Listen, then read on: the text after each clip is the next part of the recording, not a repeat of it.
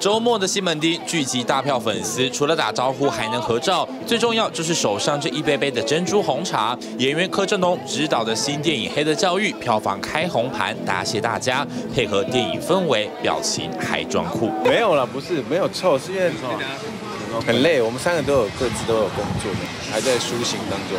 对，就是一群没有买到没没有买到高雄票的。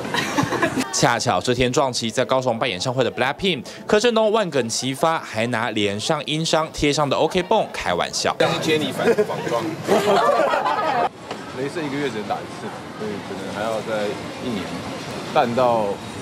不那么明显，我才会想要拿掉。好在去年底的伤没有影响到宣传行程。接下来除了要跑各地国际影展，下个月还会前进香港。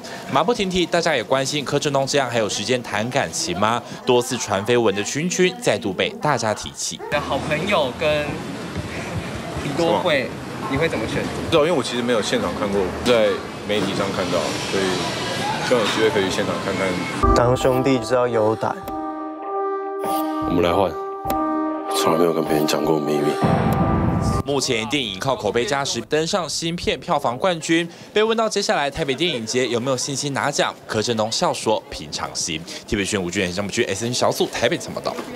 请支持 TVBS 国际 Plus 全新频道，让您扩大视野，掌握趋势，接轨全世界。恳请订阅，开启小铃铛。